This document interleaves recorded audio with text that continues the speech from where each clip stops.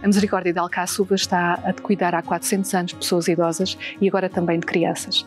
E nós sabemos que quem cuida precisa de ser cuidado.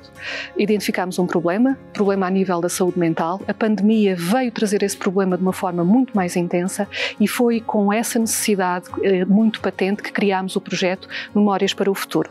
Vamos poder trabalhar no domicílio, vamos poder trabalhar com os nossos cuidadores, cuidando de quem cuida, e com o prémio BPI Fundação La Caixa, podemos reforçar a nossa equipa com mais três técnicos, podemos adquirir material e trabalhar autonomamente no domicílio e podemos também criar o relatório, editar o relatório de saúde mental na freguesia de Alcáçovas e o calendário de bem-estar, bem viver, que é um calendário perpétuo de atividades domiciliárias.